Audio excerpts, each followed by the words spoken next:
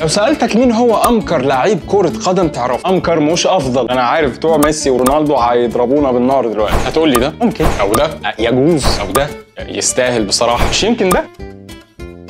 تهزرش. اسمح لي أقول لك إنك فايتك كتير يا بيه. في وجهة نظري الشخصية أمكر لاعب كرة قدم هو يوسف الثنيان. بو يعقوب. طبعا ده غير فيصل أبو اثنين لأن في ناس بتلخبط بينهم. أكتر لاعب عربي ومش هبالغ لو قلت عالمي underrated أو مش واخد حق as we speak جيل ميسي ورونالدو بيشتموا أنا عارف. بصوا يا شباب بعيدا عن المهارات والمراوغة واحد لواحد والأسيستات وال through pass وأنت وضميرك اللي كان بيعملها يوسف. تقدر أصلا تشوف فيديوهاته يعني الراجل كان بيرقص بدماغه. المميز في الراجل ده إن هو كان بيسيطر على الخصم. ذهنيا قبل ما يلبسه. آه والله يعني بياخد الأمور كده بشخصنة كروية مع المدافع. بحس كده إن هو بيهين اللاعب اللي بيعدي منه ويعلم عليه. يعني شوف يعني شوف شوف شوف.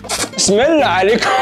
فظيع فظيع الفيلسوف بو يعقوب. يعني أنا شخصيا والله أخاف أعدي من جنبه كده في الشارع يوم واخدني واحدة موقعني الواحد كان بيتفرج زمان على الهلال مخصوص عشان يشوف يوسف الثنيان يعني بمناسبة المباراة الأولى للمنتخب السعودي في كأس العالم في قطر يوم الثلاثاء القادم مع الأرجنتين استر يا رب استر يا رب. ميسي آخر بطولة ليه وهيدور الضرب في الجميع. يعني جه على بالنا كده العظيم يوسف الثنيان وقلنا يعني نحييه بهذا الفيديو البسيط لو أنت رايح كأس العالم سواء كنت صحفي أو مشجع عادي ممكن تبقى أول واحد يعمل بث مباشر للحصريات والكواليس اللي هي الكاميرا ما بتجيبهاش. يعني مش كل حاجة بتتذاع في التلفزيون. نزل تطبيق Port Me حدد موقعك واظهر على الخريطة وانشر فيديو قصير أو صورة للمكان المميز أو اللحظة المميزة اللي أنت فيها. واستقبل بقى طلبات البث المباشر من أي مستخدم ل Port Me وخليك عين للعالم على قطر. طبعا بالتوفيق لجميع الفرق العربية المشاركة. آه شخصيا بشجع إنجلترا بصراحة. يعني هم احتلونا وطلعوا عين أبونا بس أنا بحب الفرقه بتاعتنا يلا good luck للأخضر السعودي. bye bye